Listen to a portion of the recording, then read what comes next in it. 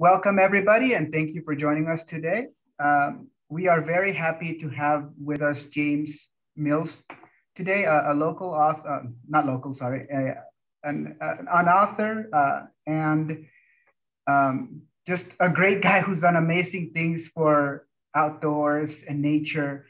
And uh, I'll, I'll let him talk more about it. But again, just welcome everybody. If you're having any technical issues with Zoom today, as it happens, please message me and we will try to get you set up.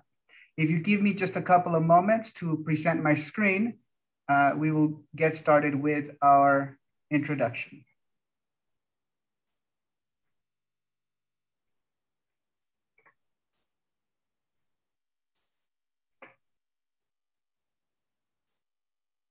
Here you go.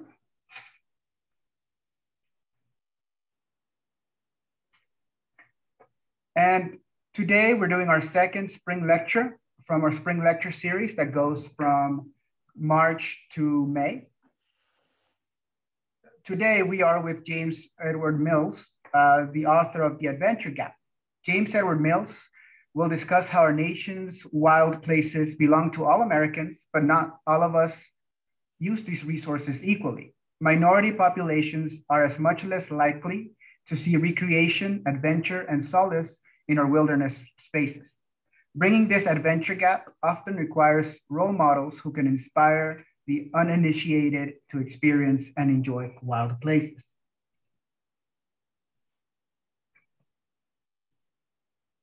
A little bit of an introduction.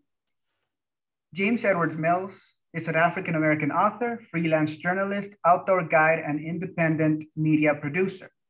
Mills wrote The Adventure Gap, Changing the Face of the Outdoors. He has also contributed to numerous publications, including National Geographic, Rock and Ice, and Alpinist. Mills was one of the great, uh, one of the creative minds behind An American Ascent, a documentary chronicling the first all-American ascent at Denali, North America's greatest, uh, highest peak. I will go ahead and do it in Spanish now. Uh, interpretation will be turned on at the end of our introduction. James Edwards Mills es un autor afroamericano, periodista independiente, guía de actividades de aire libre y productor de medios independientes. Mills escribió The Adventure Gap, Changing the Face of the Outdoors. También ha contribuido a numerosas publicaciones, incluidas National Geographic, Rock and Ice, and Alpinist. Mills fue una de las mentes creativas detrás de An American Ascent, un documental que narra el primer ascenso afroamericano de Denali, el pico más alto de América del Norte. And with us, we also have Beatriz Soto, a representative from the Wilderness Workshop, uh, their Spanish language chapter, Defiende Nuestras Tierras. I have her introduction here, just a minute. Beatriz is originally from Chihuahua, Mexico, through her childhood and youth, she grew up in a bicultural setting between Mexico and the United States. She graduated from Basalt High School and went on to study architecture in Chihuahua City.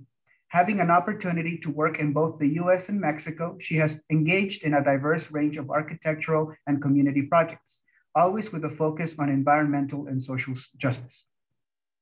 She is currently the director of Defiende Nuestra Tierra for Wilderness Workshop, where she works with environmental and conservation groups across the western slope of Colorado to tap into the influential voices of the Latinx community on issues regarding environmental and climate, climate justice, public lands management, and equitable access, as well as conservation priorities in our area. Beatriz is a co-founding member of Voces Unidas de las Montañas, a local nonprofit organization made up of the Latinx leaders that help create opportunities for leaders to speak and advocate themselves. Beatriz es originaria de Chihuahua, México. Durante su infancia y juventud creció en un entorno bicultural entre México y los Estados Unidos. Se graduó de Basalt High School y pasó a estudiar arquitectura en la ciudad de Chihuahua. Al tener la oportunidad de trabajar tanto en los Estados Unidos como en México, se ha involucrado en una amplia gama de proyectos arquitectónicos y comunitarios, siempre con un enfoque en la justicia ambiental y social. Actualmente es la directora del taller Defiende Nuestra Tierra, donde trabaja con grupos ambientes, ambientales y de conservación en la vertiente occidental de Colorado para aprovechar las voces influyentes de la comunidad latina sobre temas relacionados con la justicia ambiental y climática, la gestión de tierras públicas y la equidad, el acceso así como las prioridades de conservación en nuestra área. Beatriz es miembro cofundadora de Voces Unidas de las Montañas, una organización local sin fines de lucro formada por líderes latinex que ayudan a crear oportunidades para que los líderes hablen y se defiendan por sí mismos. Okay, and today is a webinar. We will have our chat option open. If you have any questions, uh, any comments for our presenters today, feel free to use our chat box uh, that looks like this. You can also use it for any technical issues you might encounter, and I will try to help you along with those. We will also be using our Q&A. If you have any questions for us to visit at the end of our presentation, the Q&A function is where you put them in. They will be saved for later. Lastly, this is a bilingual presentation. Um, as soon as I turn on interpretation, you will see a, a graded globe symbol at the bottom right of your screen please choose the language you prefer. You have English and Spanish, and you can choose to mute the original audio to not get any interruptions. With that, I will go ahead and turn on interpretation and get ready to begin.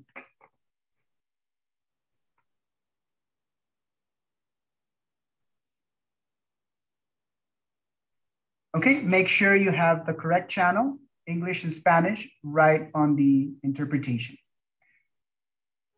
with that, oh, I think we lost. I think we lost Beatrice, but that's okay. James, would you like to uh, get us started? I'd be happy to. Alex, thank you so much for that uh, very kind introduction. And um, everyone, welcome uh, to this evening's program. Um, as Alex mentioned, my name is James Edward Mills, and I'm a freelance journalist and independent media producer.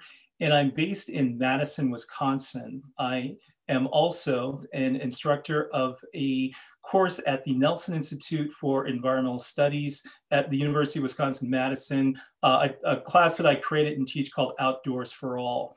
And um, I'm also screening into you today from the ancestral homeland of the Ho-Chunk people. And I think that it's critically important that we acknowledge wherever you are, the native people that previously occupied the area that you now call home. Um, I'm going to go ahead and uh, share my screen, um, and I'm going to um, lead you through a, um, a kind of a, a, detailed discussion on my work. Um, as Alex mentioned, I'm the author of the book, The Adventure, autor, the Adventure Gap. Doors. And for the purposes of this conversation, I'm going to actually start this discussion um, in a, in a area of the country that some of you actually might be familiar with. Um, you might recognize this photograph that um, I took on the Colorado River, um, actually in the Grand Canyon.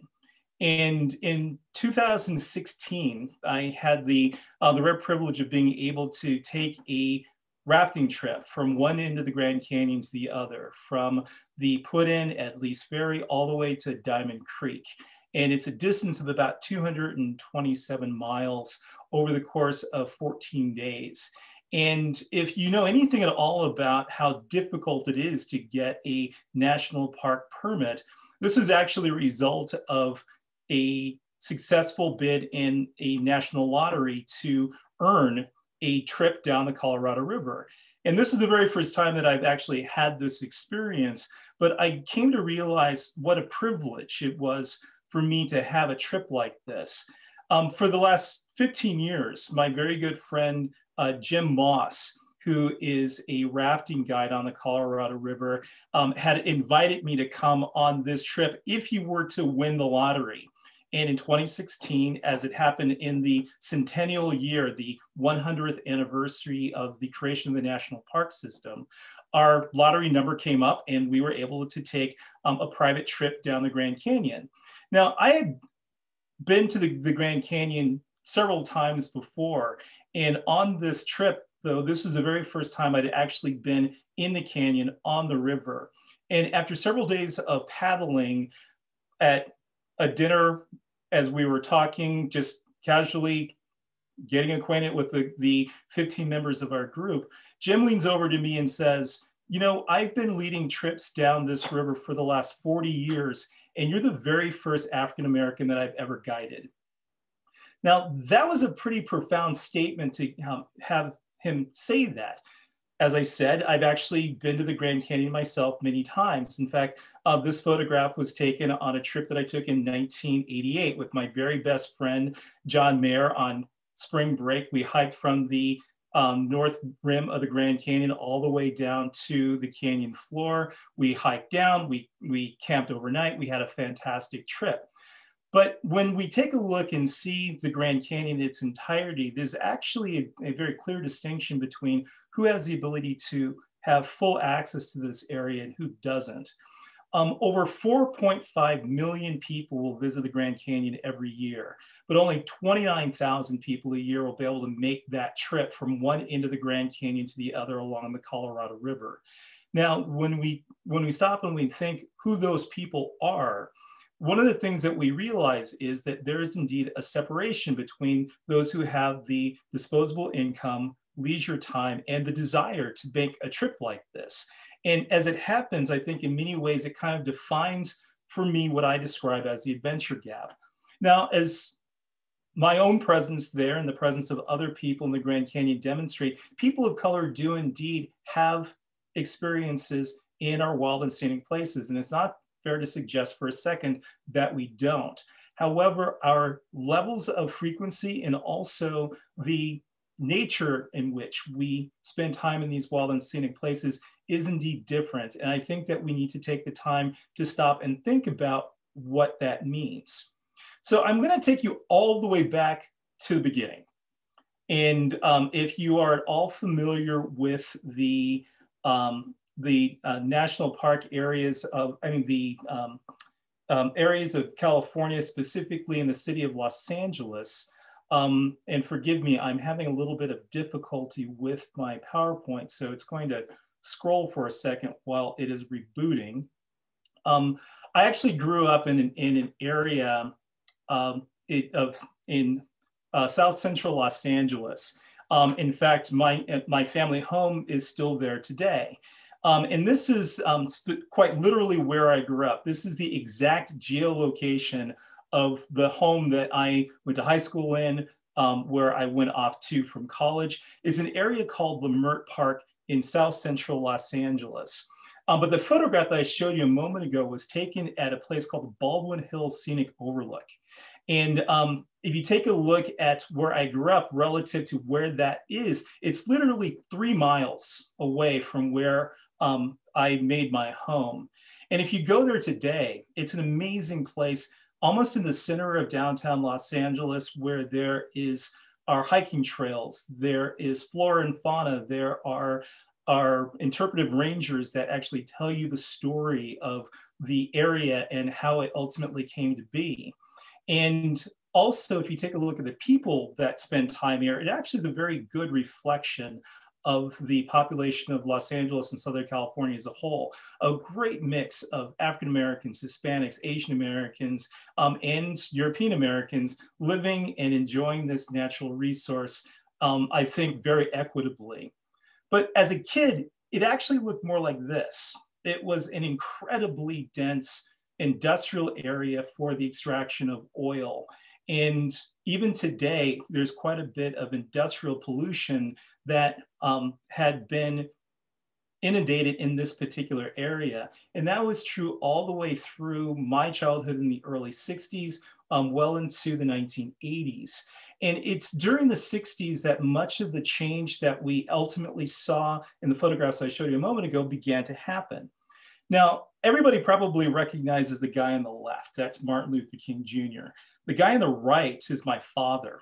Uh, my dad, uh, Billy Gene Mills, was the first African American to graduate from UCLA Law School in 1954. And he was also a civil rights activist in Southern California.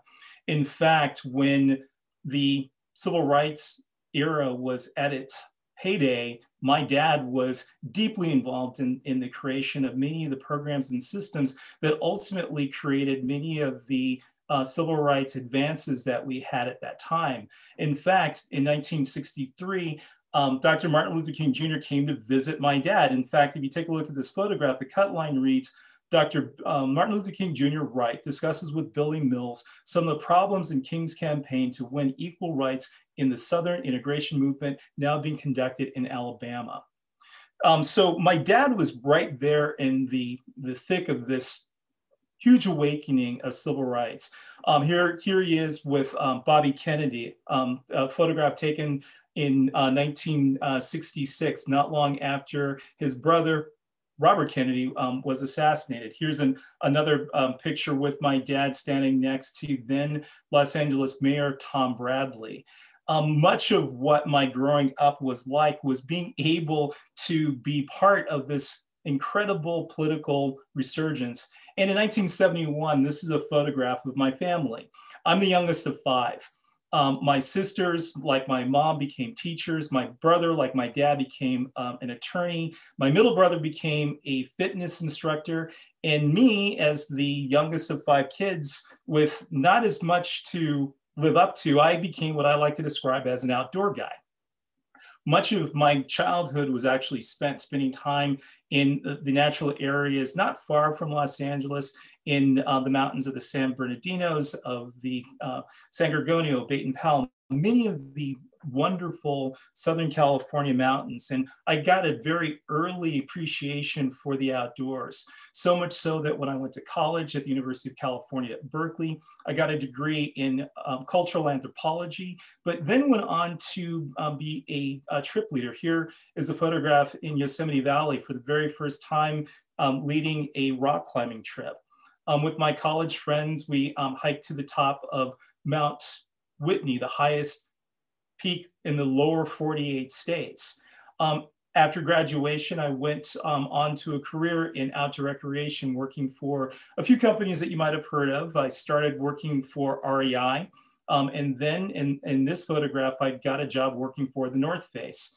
And in 1993, uh, I became the very first African American to be a independent sales representative and and um, regional sales manager, basically working in the Midwest West Territory that I currently, um, um, where I currently live today.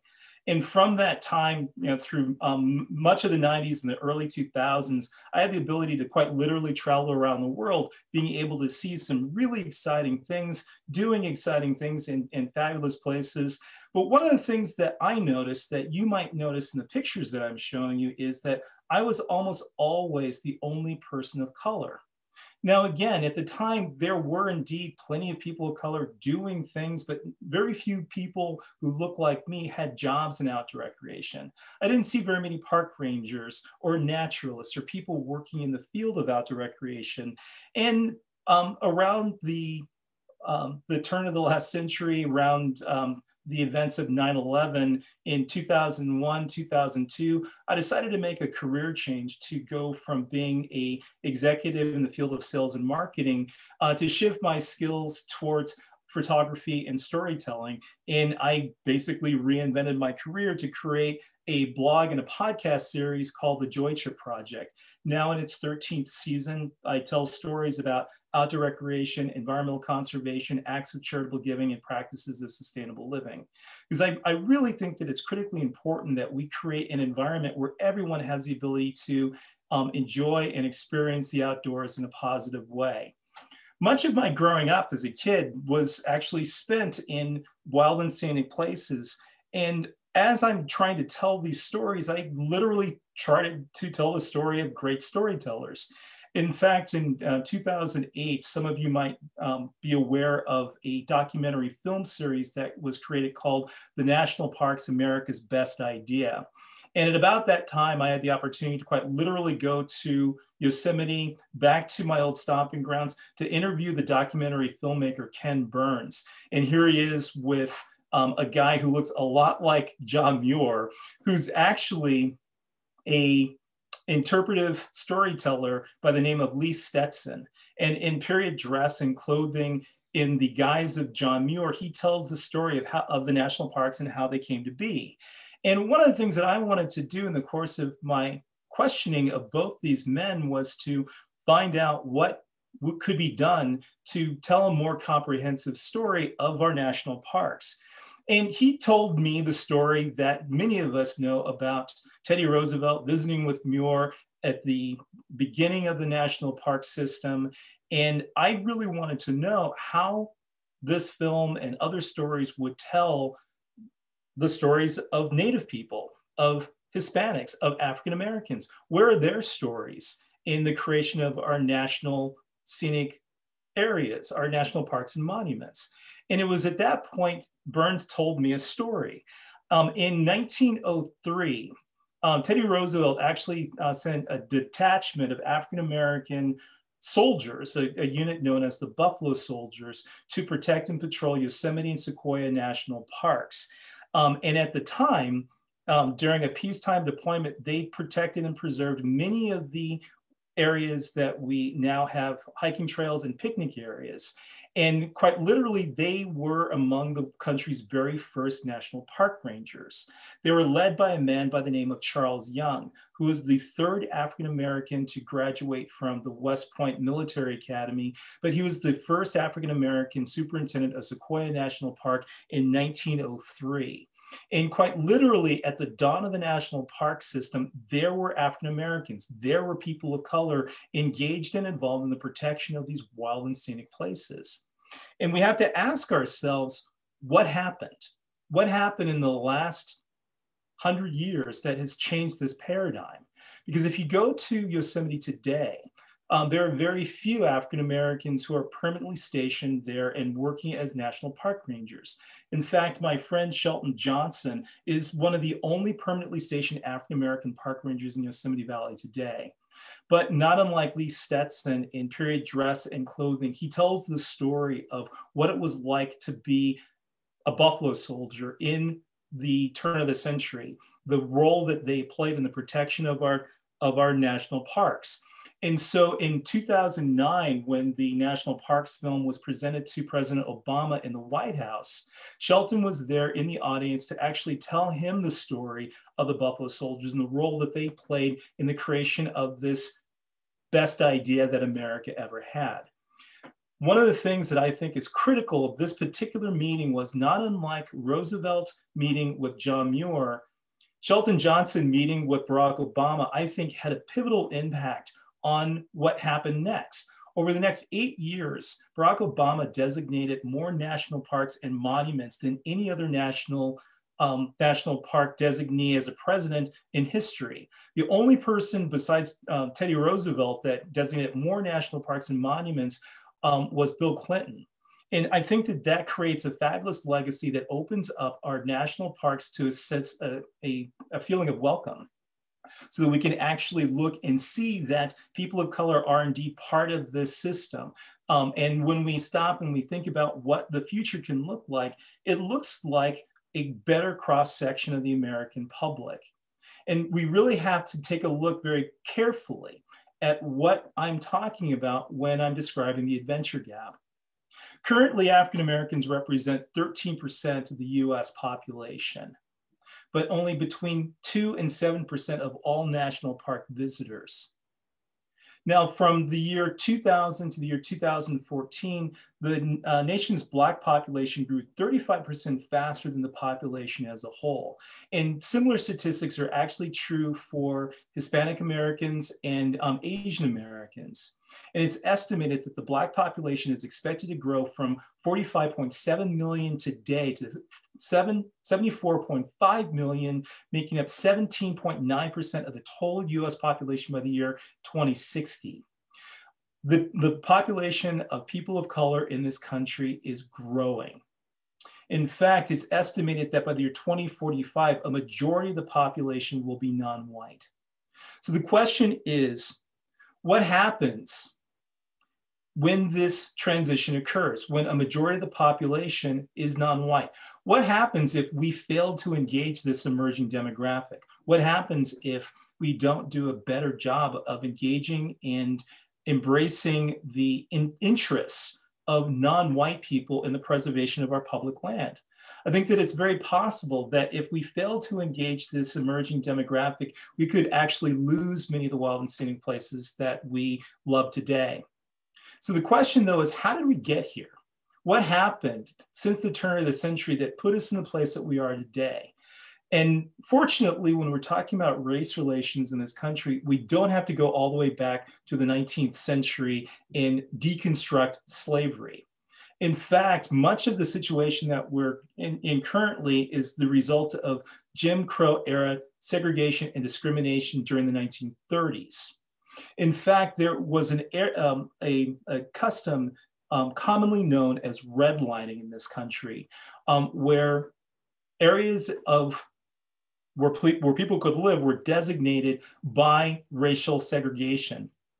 In fact, if you take a look at the area where I grew up, um, here again is a map of where I grew up in Los Angeles. And, um, and, and, at the time, Los Angeles, and not unlike many cities across America, um, had federally designated maps that indicated where people of color could live. And, and as an African American family growing up in the 1960s, our house was in a redlined area. In fact, this map drawn in 1937, it puts my home squarely in the middle of a deliberately black neighborhood. And if you take a look at all the red areas on this map, many of those areas are still primarily African American today. The areas that you see in green are designed as the prime areas that are um, primarily areas where you see affluent white people. But one of the things that's most striking about these areas is that areas that have high affluence in the green areas are literally in green areas. They're, they're, they're on wooded lots. They have access to green space and nature. While the red areas are actually where we have higher propensities of pollution and of environmental degradation. And that translates to almost every major city in America. Um, just for the sake of, of, of this audience, um, I took the time to take a, um, a, look at what Denver looked like in 1937. Um, this is a map, and forgive me, I don't know this area very well, but I would venture to guess that many of the red areas on this map that you see here are probably still predominantly Black or African American. And I would also guess, don't know this for a fact, you can um, tell me if I'm wrong, but it's probably it's very likely that these are areas where you see the most industrial pollution and also the most environmental degradation.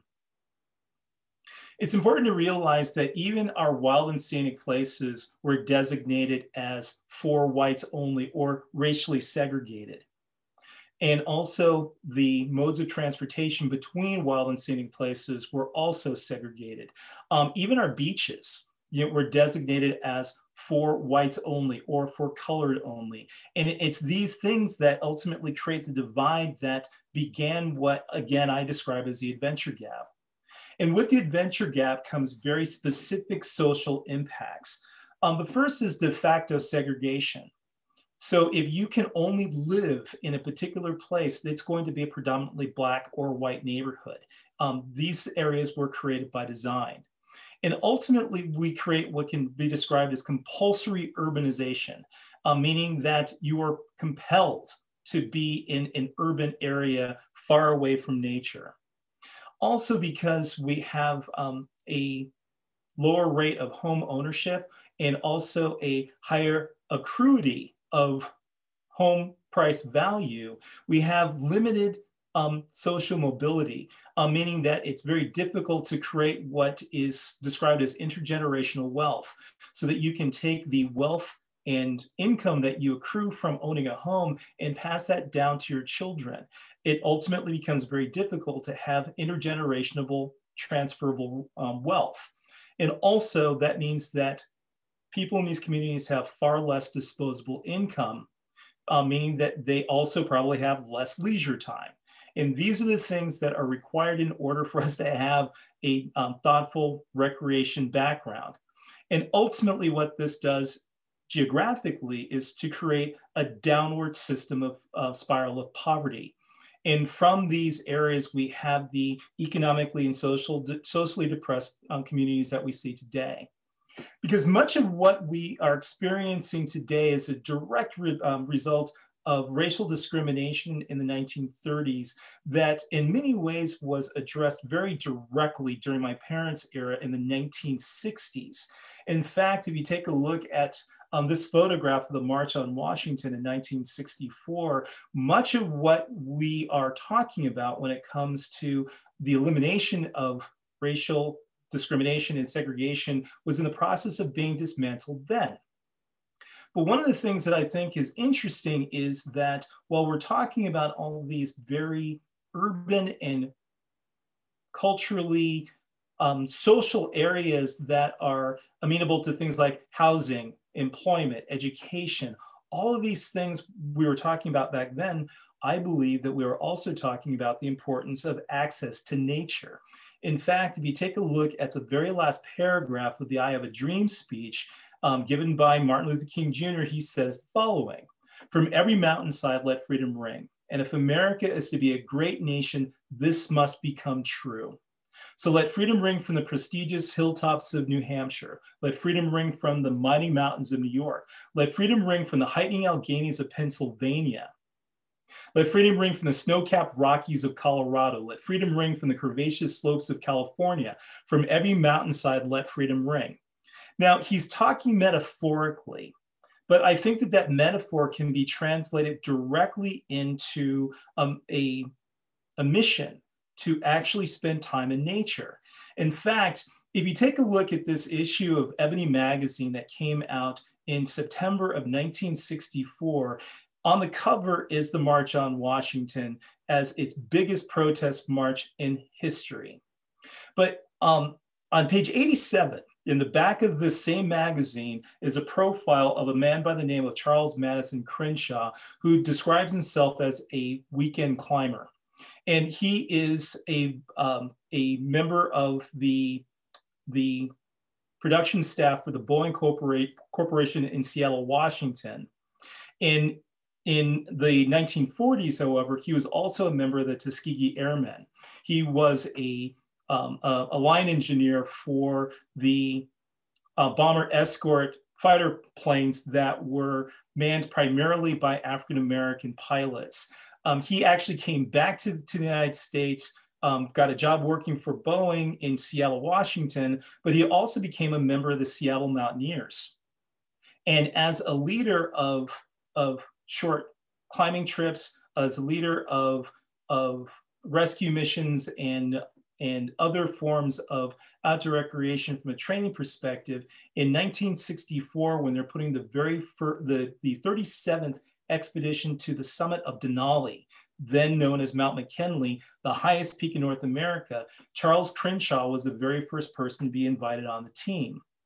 And in this photograph, as, as he is part of this expedition, he's quite literally trying to ascend to the mountaintop, the highest physical point on our, in our country. And in 1964, as Martin Luther King Jr. is looking over the shoulder of Lyndon Johnson, the Civil Rights Amendment is being signed into law. And this is the codification of King's dream. But seven days later, Charles Crenshaw made it to the summit of Denali, and he quite literally realized King's dream and um, ascended to the mountaintop. And if you take a look at this photograph, it's difficult to tell who the African American is. Um, th in this photograph, just so you know, Charles Crenshaw is the gentleman on the far right. The gentleman on the far left is, is um, Alan Randall, the expedition leader. The person in the middle is Alan's wife, Frances. That's a woman. She became the third woman on this expedition to reach the highest point in North America. So the thing I love most about this photograph is that I think that it beautifully illustrates that a person in, in nature can be judged not by the color of their skin, but indeed by the content of their character. Mountains don't discriminate. Altitude, cold temperatures, the um, rates of exposure have no compunction over who a person is other than their abilities and their skills as individuals. And, and uh, Crenshaw said uh, at the summit, um, it had, it had, been so easy today for most of the climbers that it was hard for them to realize that they were actually standing on the summit of Mount McKinley, the highest point in North America. Climbers found themselves searching through the clouds for something yet higher. So what's higher than the highest physical point in North America? What's higher than the point in our history where we are quite literally realizing our dreams to become a better nation. And if we take a look at outdoor recreation, perhaps as a starting point, a place where we can all be equal, and if we can encourage a higher percentage of the population to become more in, interested and engaged in outdoor recreation, we can ultimately make civil rights and civil liberties available to everyone. So in, tw- in 2013, I had the privilege of being part of something pretty special. Um, working with the National Outdoor Leadership School, an organization also known as NOLS, we put together for the very first time an African American team of climbers. Our goal was to take King King and Crenshaw's dream to do something that had never been done before. Our goal was to put together the very first team of African American climbers to ascend to the summit of Denali, uh, a team of six men, three women, a total of nine climbers. Um, made their way to Alaska to take King uh, Crenshaw's original dream of Denali in 1964 and almost 50 years later bring it into the present uh, to create a new vision of outdoor recreation in a project that we called Expedition Denali. And our goal essentially was to quite literally change the face of the outdoors by creating a new cadre of role models and mentors that could go back into their communities and share these remarkable stories. It was the topic of my book, The Adventure Gap Changing the Face of the Outdoors. And it's also the subject of a documentary film called An American Ascent. And from that expedition, we were actually able to change who a person can be identified as a climber. Um, and from this expedition, we literally changed the characters on the board so that now we see a broader cross section of the American public, specifically African Americans, as part of this expedition. So much so that members of our group came back to their communities and did some pretty remarkable things. Some of our climbers went on to climb other mountains in Central and South America, in Africa. Um, one of our teammates actually um, led the very first all African American team ascent of the of Mount Kilimanjaro in Africa. Others have come home to create careers for themselves in the National Park Service as rangers. And in, in 2015, our team was invited to share our story with President Obama in the White House. In, um, in this photograph, actually taken on the day that the Supreme Court um, designated the, con- the constitutionality of gay marriage was signed um, was was made legal and it was a pretty fabulous day in Washington. And we were there to tell the story of, of equality and outdoor recreation to a group of over 350 African American and Hispanic youth from the DC metro area. And from this expedition and throughout much of the years that followed, we've seen the creation of a variety of new type of what I'll describe as affinity groups, organizations that identify specifically with cultural representation and identity uh, to create very specific places in nature for their people, whether we're talking about Native Americans, Latinos, people with disabilities, people from the LGBTQ community, women, Native women, any group or underrepresented segments of the population, we now see as part of this paradigm that is outdoor recreation and ultimately a new generation of environmental stewards that will hopefully one day fight to protect the wild and scenic places that many of us love today. Now, it's very easy to see that the face of the outdoors is indeed changing. And we've done quite a bit to realize um, King's Dream, and we're doing a fabulous job of making sure that there is better representation. Um, so much so that the changing face of the outdoors is becoming um, prominent in, on the covers of magazines on social media, in popular films, a few I've, I've created myself. And so now this is what the face of adventure looks like. But the question now is, are we done? Because I think that a lot of people have suggested that since we now have such great rates of representation, you know, we're pretty much finished, that there's no more work to do. But the reality is that the outdoors still isn't safe for everybody. The modern era has brought in a, um, a resurgence of racially motivated violence that uh, for a lack of a better word, is not much better than it was 100 years ago. And suddenly we find ourselves right back into the 1960s, um, where we're literally unpacking or redefining what it means to be an environmentalist today. So much so that we're going all the way back to the beginning and redefining what it means to be a, a part of the natural environment as an environmentalist or conservationist. But personally, I think that we really need to look further than our own backyards. Much of what I've described in terms of the adventure gap can actually be overcome in our own neighborhoods.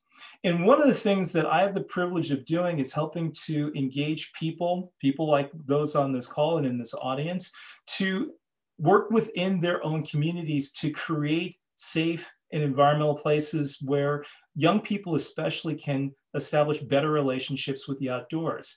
I had the privilege of sitting on the board of the Aldo Leopold Nature Center. It's an experiential education learning center based right here in Madison, Wisconsin, in the heart of the urban of the urban area. But one of the things that I've encouraged them to do is change the language in their mission.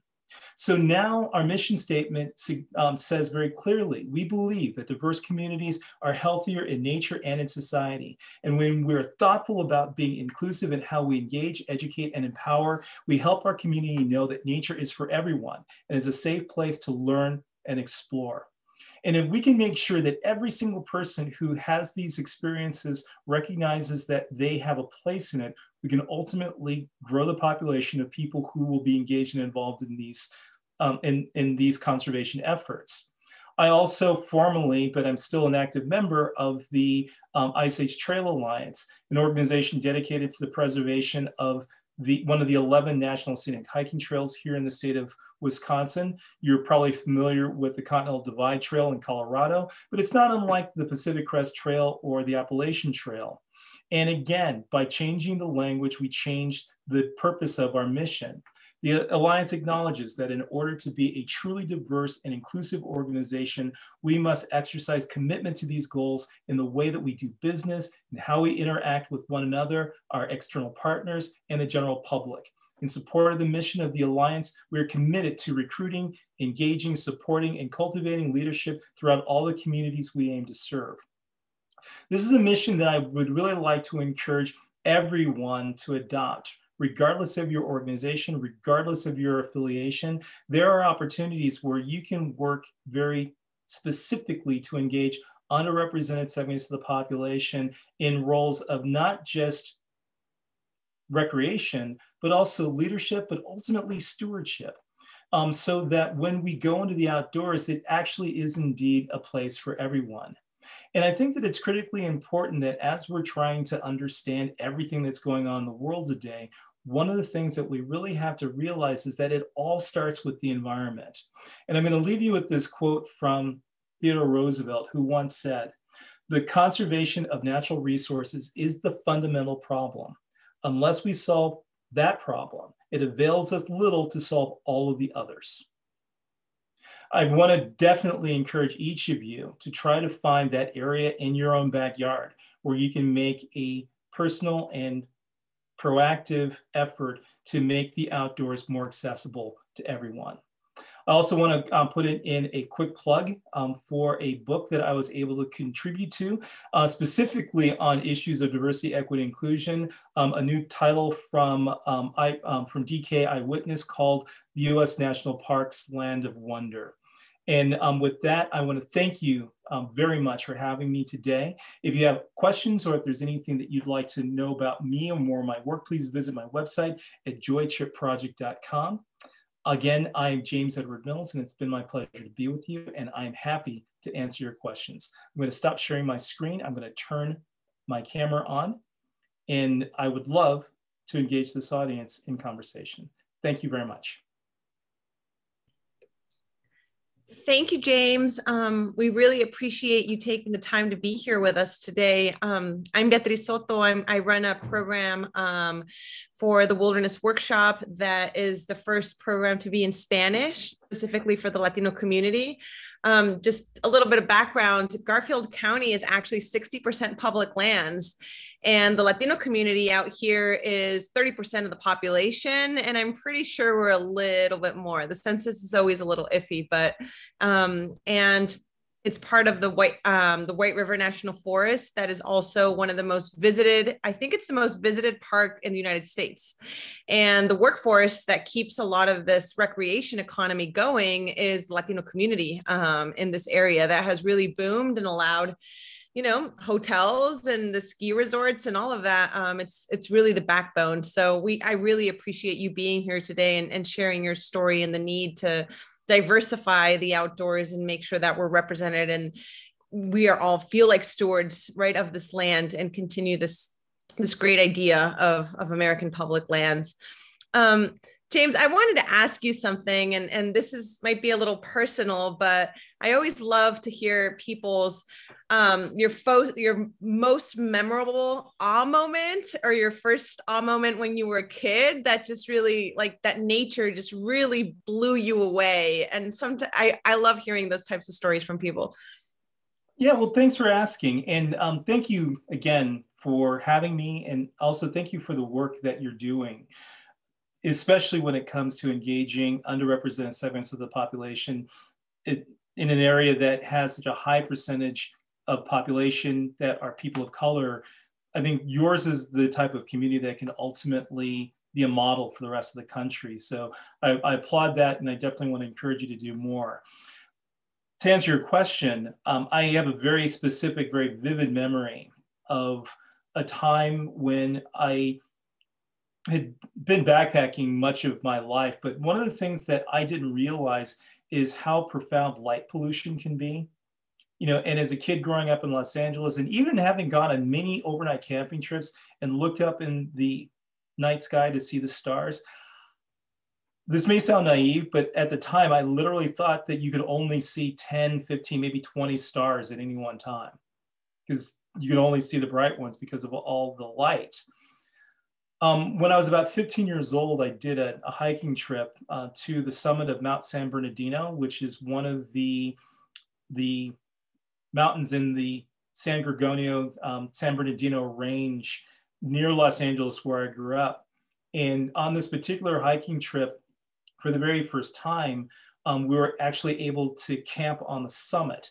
It's 10,000 feet, but there's still plenty of open space to have um, a tent site and it had been raining and we'd actually hiked above the clouds you know so that the clouds were literally below us. We were actually able to hike through the clouds out of the rain into the clear blue sky. And by the time we were ready to set up our tents to camp it was so clear we didn't need, to even sleep in our tents. So i'm sleeping outside under the sky under a blanket of stars and i look up and I have never seen so many stars in my entire life. And it was quite literally, quite literally a naked eye Milky Way viewing opportunity. And if you've never experienced such a thing, and I think in Colorado, many of you probably have, but the, I was 15 years old before I saw that for the first time. And it was at that moment that I realized that it was something that was profound for me. I literally felt like I was part of the entire universe, you know, and I felt small and insignificant, but still part of a great whole. And I think that it was really at that moment that I decided that this is something that I wanted to do for the rest of my life. That this is something that I wanted to be part of my profession, part of my passion, my vocation, you know, and things that I do on a daily basis. And, and that is a moment that I'm going to carry with me for the rest of my life. Thank you. I absolutely love that story. Thank you for sharing that. Um, in your book, you mention loving nature to death. Um, and this is something, you know, that we we feel around a lot in our area in Pitkin County, Eagle County, because we we start to see so many more people visiting going deeper into certain areas and with social media posting where people are and even to the point where there's starting to be a lot of pollution in our little water streams and, and there's this concern about loving places to death but I always feel like there's this hard balance, right? That you want more people, more diverse people um, being able to access these areas, but at the same time, you want to you want to protect them, right? Because we want to put biodiversity and ecosystems first. Um, I guess I would love to see your insight on like what what do you feel is is the right balance, the right message um, to not cross over. You're not welcome here ecosystems are before people. Um, anyway, I would love to, to hear your approach on that as well. Mm, and thank you for asking that because that is indeed the problem. Because uh, early in my career, I think a lot of people were suggesting that the last thing we wanted to do is get more people in the outdoors. You know, and to me, it's not a question of numbers. To me, it's a question of diversity. You know, so that you have an equal mix of all the people who go into the outdoors. But inevitably, that's still going to mean more people. And so if you take a look at an example as I started this conversation, like the Grand Canyon, 4.5 million people will be able to visit the rim. You know, you can go hiking, you know, you can sleep in a hotel, you can go on a on a burro ride to the bottom. Um, but in many ways, that particular part of the park is kind of like Disneyland you know, and they've got lines and you get permits and you queue up and and um, there's garbage collection and it's just like a, um, a big natural city. But if you go just a mile down the trail, the numbers start to diminish. And it's at that point, it's, you know, people who um, are, you know, a little bit more intrepid you know people who are, are prepared to make a, few more sacrifices in terms of their comfort. Now unfortunately that does limit people's ability you know people who might be in wheelchairs or the elderly or the otherwise differently abled will have difficulty making their, their way down trail systems. But the further away you get from the mass the fewer people that you have. And it's at that point we need to start practicing the principles of leave no trace you know, of being able to, you know, recognize the privilege of being in these areas, but also the fragility of the environment that you're in. And then ultimately, and this is, you know, the, the, the real upshot of this, as I said before, only 29,000 people will make the trip down the Grand Canyon. Now, the, the, National Park Service has determined that 29,000 is the optimal number of people that can be allowed to go down there um, to um, literally a big part of the, the, that number is the the river's ability to carry the capacity of human urine. You know it's the, the that 29,000 people is the maximum amount of urine that can be allowed in the Colorado River before it becomes polluted. So that's the that is the the magic number. But you've got to pack everything else out you can't leave anything behind. And um, but again a, a, very small number of people. And as i mentioned before um, we waited 15 years to get a permit to go down the grand canyon.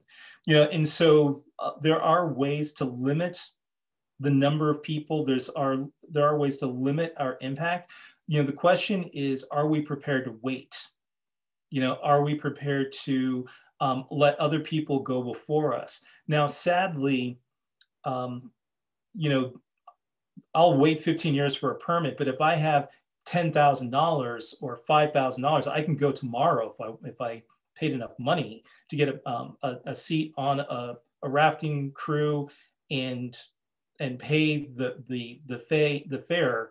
So that means that there's a distinction between who can afford to go you know, and so then it becomes a socioeconomic issue. The last thing I want is to only have our natural resources available to the wealthy.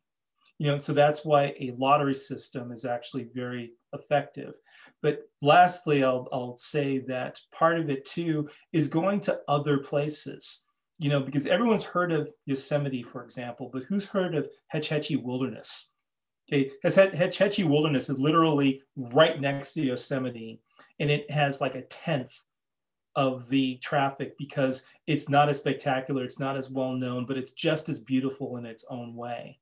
There's always going to be a smaller river, another lower scale area with fewer people that will cost less, where the permits are easier to get. I think that it's really just a matter of spreading out and trying to have as many experiences as we possibly can but and, and at the same time limiting our impact in the areas that we go leave no trace pack out what you pack in absolutely yeah thank you so much for sharing that I kind of wanted to read something for your from your book that um, that I really really enjoyed and it really resonated with me too. And it's the mountain effects not only are reflections on the past but also influences the way we think about the future. It allows us to realign our priorities and consider life from a new perspective. And even though this is a story based in fact, there's spiritual transformation that occurs between fantasy and reality that lies at every heart of every adventure. That was by far, I think, one of my favorite my favorite parts, and I, I really enjoyed your book. I actually just finished it this morning. I, am like, I, I have to read it, and I was totally hooked on it. Um, and I loved how you took me through history and, and brought me to the past and the present and, and the characters of, of these real people that you're showing um, so much beyond color, but who they are and, and, and their values. And I'm, I'm not a, a, a mountaineer by any chance. I've, I've climbed, I do hiking, I snowboard, but it just, it really brought me to this, this whole nother world. And I, I really appreciate all of it. And um, I guess, how, I know you you've transferred your your career and, and your journey, but you know, just being out in nature, how has that influenced like your everyday path and and and how did that shift who you started out to be as a younger boy and, and who you are now as a man and your journey and your priorities? It, I think nature has been been a huge part of that, but can you just kind of open up more of that um, whole experience? Sure, yeah, and it's it's really interesting because I think that um, you know, to your question, I really have to. Well, first of all, I need to thank my parents, you know, for creating, um, you know, the space for me to explore, you know, and they were both civil servants. You know, they um, they we weren't wealthy by any stretch of the imagination, but you know, but we were, you know, black middle class Southern California you know, two professional, intact family, um, you know, without, you know, a lot of the things that many families deal with, you know, um, no drug or alcohol abuse, no physical abuse. You know, I really had a great life, you know, and that in and of itself, you know, allows me a certain level of privilege. Second, I also was imbued with that privilege a certain amount of obligation you know, to make sure that I'm also looking out for the interests of other people and not just my own interests, you know, because I honestly believe that in order for us to enjoy these natural resources for ourselves, we have to make sure that there are plenty of natural resources for other people too. And so when I began my career in outdoor recreation, I mean, one of the things that I was really looking forward to doing is just being an outdoor guy you know, and spending time in nature. And but the thing is, you still have to make a living, you know, and you still have to, you know, figure out how you're going to put a roof over your head and and and pay the bills and everything else. But I was actually very fortunate to be able to cobble together um, a variety of different uh, jobs and resources. Um, as an independent sales representative, I was actually able to make a very good living. The problem, though, is that you know if you put too much effort into do, you know doing what you're supposed to do you know you wind up missing out on a lot of different things. And so that's kind of where the fantasy aspect of what you read in my book kind of comes into play. I think it's really important that we dream. You know we dream about things that are impossible. We dream about things that are unlikely. And then we start taking steps towards fulfilling those dreams whatever they happen to be. And it, and it doesn't have to be like climbing a big mountain. It could literally you know be you know something relatively small. I mean this morning is a perfect example. Um, it's a you know chilly day early this morning in, in madison. I had this presentation to prepare for plus two magazine articles that i'm writing. And one of the things that i realized especially in the time of covid when we're all working from home you could literally work yourself to death. And the people that you're working for will let you you know, because we have so little distance between our day to day lives and our work and everything else. And so, you know, with the cooperation of my very supportive wife, you know, um, Chi allowed me to take the car that we share to go fly fishing this morning on a lake, on a river about 30 minutes from our house. And it was really very fulfilling for me because being able to catch fish on a in a watershed that in a community that I live in um, with neighbors whose farm fields and um, whose agriculture and, and, industry supports my livelihood um, allows me to, to center myself, to be able to have a positive experience in the outdoors, to be able to be calm enough in my thinking to be able to know where the fish likely are to make the proper fly selection, to cast the line in the water and bring the fish onto shore, um, remove the hook and send it back into the water. I mean, there, there's there's craft in that that is cultivated through practice, you know, and, and in many ways it's kind of meditative. And I and that's something that I found for myself that I'm very grateful to all the people who've helped me to get there. I want to encourage anyone who's listening to me right now to find whatever that is for themselves. You know, it doesn't necessarily have to be ultra physical. It certainly doesn't have to be expensive, um, but it could be going for a hike. It can be bird watching. Um, you know, in Colorado, you have lots of opportunities um, to go skiing. If you can't afford a lift ticket, backcountry skiing, you know, typically just requires a, a backcountry permit, you know, and, you know, a little bit more equipment, but all in all, kind of balances itself out, you know, and you can find the, the cheap and affordable gear that's necessary to have, you know, whatever scale or size of adventure you want to have. And, and I really want to encourage everyone to find whatever their thing is. You know, and I, again, I've been really lucky to find a few things um, but a big part of that is having conversations like this one to make sure that I'm encouraging people to do the same. And if there's ever anything that I can do to help, you know, if it's just writing this book, you know, or telling a few stories, or introducing people to the history, heritage, and legacy of their ancestry relative to their place on the land, I think that's a good place to start. Thank you, James.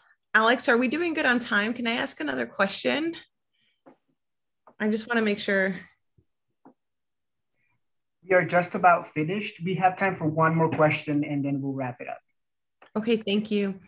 Um, James, you really mentioned about COVID and working from home and kind of, um, I've, I've personally felt like I've worked more than ever in my life. And, and you're absolutely right. It does become kind of intrusive in, in your space um, I, I kind of just to close it off, um, I would love, you know, I always feel um, over this past summer with COVID and like a lot of the racial kind of confrontations that we had in our country. And I'm also doing a lot of work on environmental justice issues as well, specifically affecting communities of color.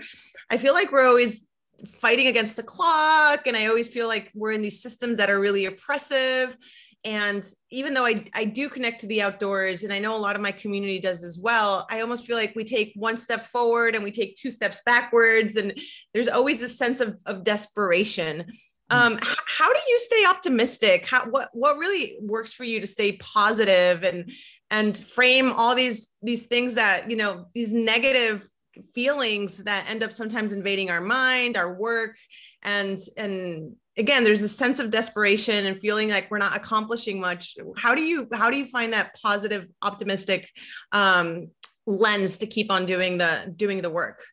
Well i mean first of all i mean much of what i do comes out of my own love of the outdoors mean that that's the start. And i think that anything that you do from a spirit of love you know is almost guaranteed a positive outcome. So i think that it's important that you start there then I think that it's really important to give the things that you want to get.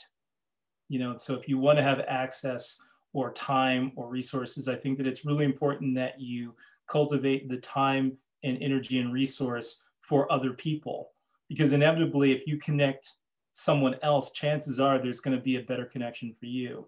So, for example, um, one among the many projects that I'm, I'm doing is trying to um, figure out how to facilitate such things. And especially during COVID, when um, everyone was was hunkered down and were in need of um, of physical social distancing and, and physical and cultural restrictions. Um, you know, I created what I've called an escape pod. And an escape pod is basically a group of people who collectively decide that you're going to be COVID safe, that you're going to um, get a negative COVID um, test. And this is before the vaccine, obviously. Um, and um, we're going to have a communal gathering. We'll um, take um, separate transportation and then we're going to go someplace. And I led two trips, one in the summer to the Ice Age National Scenic Hiking Trail, which I, I shared with you. I took a group of African American men and their sons for the very first overnight hiking experience, you know, in a COVID safe environment in a place where we basically had the entire trail all to ourselves for a weekend. Um, a couple of weeks ago, this winter, I, I, led a similar group from Detroit and Grand Rapids, Michigan to the Pictured Rock Scenic Lakeshore on the Upper Peninsula of Upper, Upper Peninsula of Michigan to go ice climbing. The exact same thing. You know, but what's what's great is because I was actually able to work specifically with people who could go back into their communities and share their experiences with others, I was actually able to get quite a bit of grant funding to be able to um, cover the not only cover the costs for everyone to be there, we were able to provide them with um, technical equipment and clothing, transportation, and a stipend. You know, so um, you know we paid them to have a great time you know, mainly because you know, we were literally taking them away from work. You know, these are are you know um, upper, well, middle income working people that don't have the capacity to do these things otherwise. And so we ultimately had two fantastic trips that were fully funded and paid for. I, I wrote some nice little stories about it. We got some great photography. We did some wonderful storytelling, and that I'm hoping motivates other people to go out and have similar experiences for themselves. So much of my optimism comes from my efforts to inspire that same level of optimism in other people. Most importantly, I just think it's really important that anyone who's doing these things realizes that they're not by themselves. They're not doing this alone, and that there's community that we can build around this so that everyone can be made to feel safe and welcome in the outdoors. Thank you, James. Well, please let us know if you are ever in our area. We have amazing ski resorts and just amazing access to public lands. And every day, like you say, we're working hard to make sure it represents the community we live in and the community that's actually making these places thrive. So, again, I, I really appreciate um, your time today. Um, Alex, I'll let you take it away. It's my pleasure. Beatrice, it's so nice to meet you. Thank you very much for your questions. Thank you, James. Thank you, James, for being here with us. And thank you, everybody who's watching. Thank you so much, Beatrice, for being our facilitator today and enjoy the rest of your vacation. This was very riveting and we're looking forward to, to delving more into it. I know I'm looking forward to reading the book as soon as I can. And just to everybody who's, who's out there, if you would like to share this video or revisit it, it will be recorded both in Spanish and English and it will be posted on our library's Facebook and YouTube. Um, thank you also to Albert and Dea, our interpreters for today. They worked really hard to make sure we can reach um, our Hispanic population, and we're very pleased to have them as well. Um, with that, I will go ahead and end the night. Thank you again, James and Beatrice, for being with us. Please enjoy the rest of your night. Thank you. Good night, everyone. Buenas noches. Hasta luego.